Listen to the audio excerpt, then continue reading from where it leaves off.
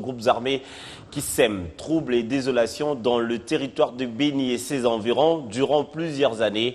Le commandant suprême de l'armée a décidé de renforcer l'effectif des militaires dans cette partie du pays qui passe désormais de 11 à 21 000 soldats selon le compte rendu du Conseil des ministres extraordinaire présidé le vendredi par le chef de l'État. Les troupes ayant passé plus de temps dans cette contrée ont été relevées, satisfaites. Population de cette région attend impatiemment cet assaut contre les ADEF à qui l'on attribue les massacres des civils depuis cinq ans. Pendant ce temps, l'armée congolaise a interdit formellement à la population du territoire de Béni d'emprunter l'axe routier Béni-Kamango, une mise en garde qui intervient après l'assassinat d'une personne par les assaillants à Nialeke. Pour le général Sylvain Ekenge, porte-parole adjoint des FRDC, les populations seront informées de la maîtrise de la situation avant la réouverture du trafic. Congo a un message important à adresser à la population de Benville et de Beni Territoire. Ce message consiste à leur dire que pour le moment, l'axe Mbao-Kamango n'est sécurisé que pour l'utilisation militaire. Et il n'est pas tolérable que les civils puissent accéder à cet axe, à cet axe puissent l'utiliser sans l'apport des militaires. Donc pour le moment, nous n'acceptons pas ce que les civils puissent accéder à cet axe et l'utiliser jusqu'à ce que l'autorité politico-administrative donnera l'ordre de le faire sur proposition de l'armée. Et j'en profite pour appeler à l'ensemble de la population du territoire de Beni et de la ville de Beni que l'accès au site militaire se trouvant sur cet axe-là, l'accès aux installations militaires, l'accès au campement, au PC de l'armée est strictement interdit à tout civil. Donc tout celui qui va accéder à des sites militaires qui sont sur cet axe sera considéré comme ennemi et sera arrêté parce qu'on ne peut pas comprendre que les femmes civiles puissent aller dans des positions militaires Restons toujours dans cette province du Nord Kivu. Bientôt, la province bénéficiera d'un édit portant protection des défenseurs de droits humains. Voilà ce qui explique la rencontre tenue ce week-end entre les acteurs de la société civile, les activistes de mouvements citoyens ainsi que les professionnels de médias pour discuter sur le processus de mise en œuvre de cet édit dont le projet a été déjà déposé au bureau de l'Assemblée provinciale et n'attend que la discussion en plénière par les députés provinciaux avant de passer à l'adoption. Cette initiative est de la synergie au Kingo-Wetu, qui n'a qu'un seul objectif, doter la province d'un instrument légal et juridique de protection des défenseurs des droits humains, y compris les journalistes. Nous avons réuni les défenseurs des droits humains et les journalistes pour les mettre à jour de l'évolution de la proposition dédiée portant protection des défenseurs des droits humains. Également de les rappeler que la proposition dédiée portant protection des défenseurs des droits humains les concerne et qu'ils doivent se mobiliser pour soutenir déjà les députés qui ont accepté d'endosser et qui, et qui vont demander à ce que l'Assemblée provinciale puisse doter la province du Nord Kivu de cet édit-là pour que les défenseurs des droits humains agissent dans la sérénité de, de leur travail. Pour cette synergie, il est urgent que le Nord Kivu soit les pionniers de la mise sur pied de cet édit, afin que le niveau national s'inspire de celui-ci.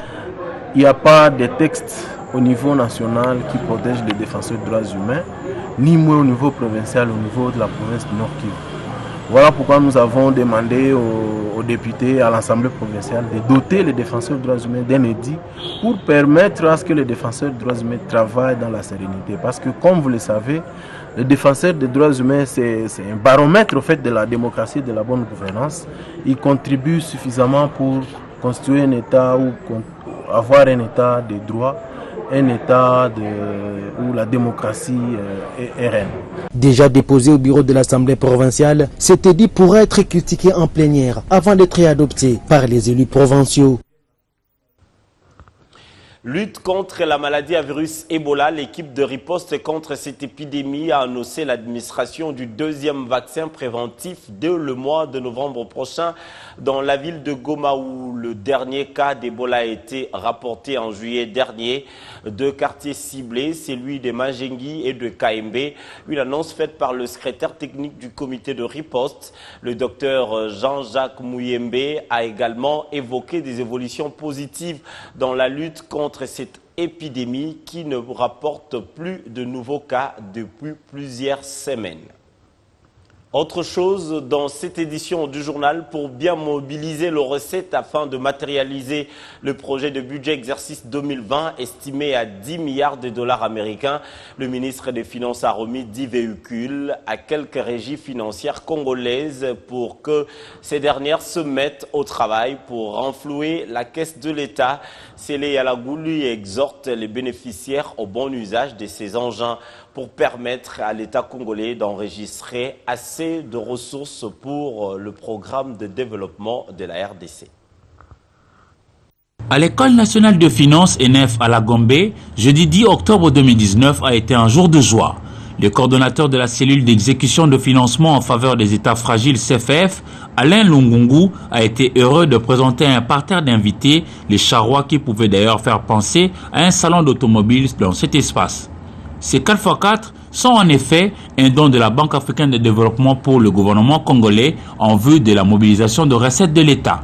Ainsi, le ministre des Finances, Sele Yalagouli, au nom du gouvernement central, a officiellement remis 10 véhicules à la DGI, 5 pick-up à la DGRAD, un pick-up pour la Direction générale des redditions des comptes et 3 véhicules pour le compte du cabinet du ministère des Finances dans le cadre du projet d'appui à la modernisation des ressources internes et la modernisation de finances publiques en RDC. Une occasion pour formuler une exhortation à l'égard de bénéficiaires. Il faut les utiliser à bon escient. Ce n'est pas toujours évident que nous ayons de matériel roulant dans le cadre de resserrement budgétaire qui est le nôtre et que personne n'ignore. Donc je voudrais utiliser la phrase que nous tous nous sommes habitués à écouter. Utiliser ces biens en bon père de famille pour que ça puisse nous permettre d'engendrer encore assez de ressources pour le programme du développement tel que soutenu par son Excellence Monsieur le Président de la République.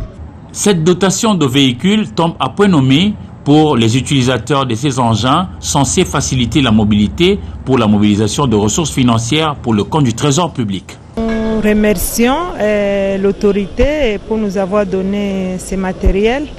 Et bon, ça arrive rarement, comme il a dit. Les besoins sont énormes, mais bon, ça va nous aider à la mobilisation des recettes, à la mobilité des agents, pour essayer de trouver des moyens à donner au gouvernement pour sa politique. En tout cas, c'est une grande joie pour nous. Disons simplement, et nous prenons en même temps l'engagement de bien gérer ces véhicules-là.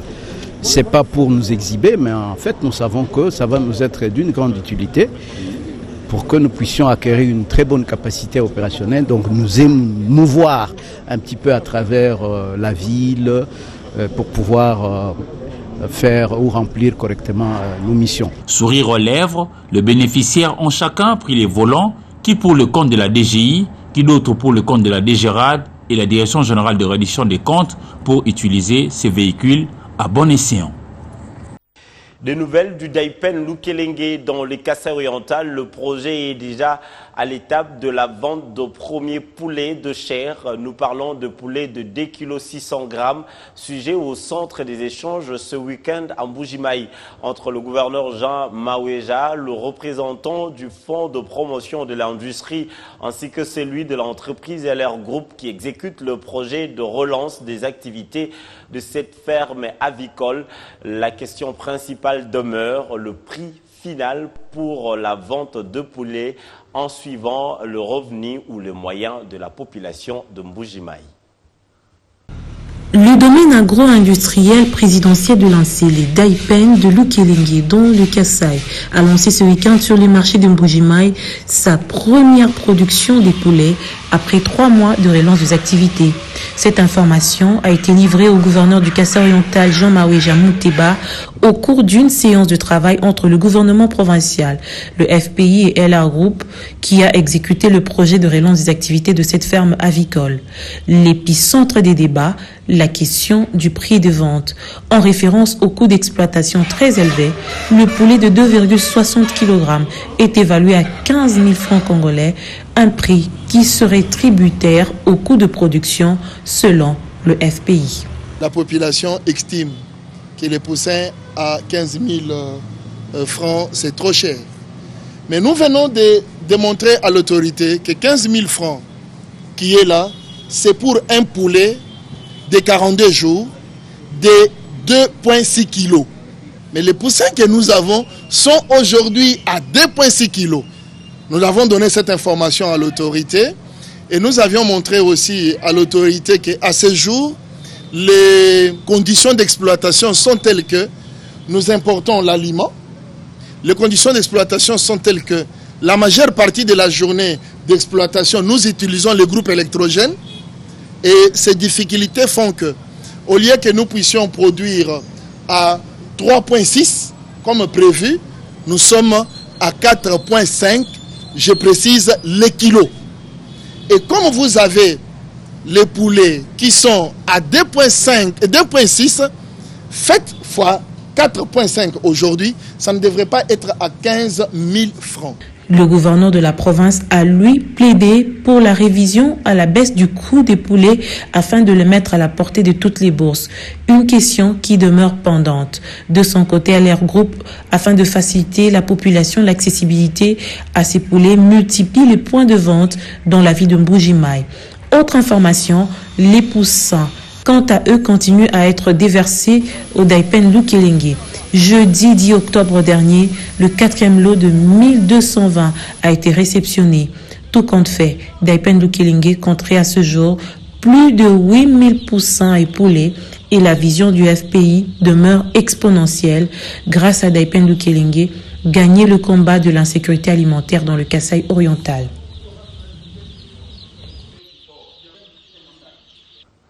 Voilà, c'est par ici que nous mettons un point final à cette édition du journal. Mesdames et messieurs, merci de nous avoir suivis. Encore une fois de plus, bonne journée dominicale à tous.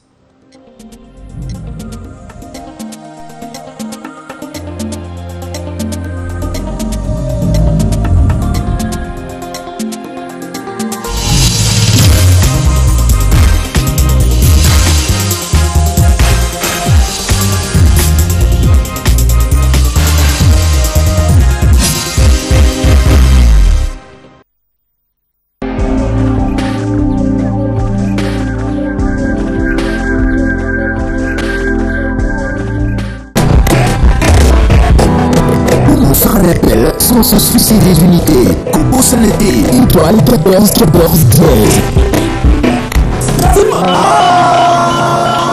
Alors Junior, bien bien Wesh papa, ça va? tiaki azali kozela danie kokuta boma. Nakosumbela yo tangawusi na makasu. Babakisa mpe mondanga nazini yo kokosala kotongola te. Nazali mpe na kumwa laswa prince blanche te rappel kokata te nazopesa mfumu alo junior naza na surprise mpo na yo. Mbotokolo ya mbote mbotokolo ya mbote mbotokolo ya mbote ya. Ja mbotokolo ya mbote Phrase juste pour toi, toi aussi compose étoile 14 14 dièse et découvre des offres adaptées rien que pour toi. Avec plus de minutes pour parler plus longtemps avec